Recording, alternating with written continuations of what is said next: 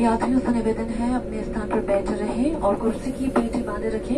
requesting all passengers to please be seated and fasten seat belt until further notice thank you